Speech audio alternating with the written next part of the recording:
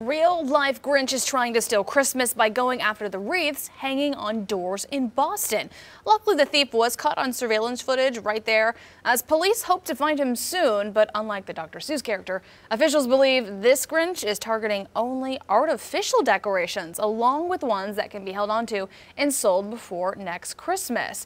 I don't understand people this time of year just going out trying to make a quick buck uh, off of people's, you know, joy. And yeah. it's just, it's sad. It's well, he's very gentle about it. yeah. see, he's very calm about it. We anyway, still wrong. Leave the people's wreaths on there.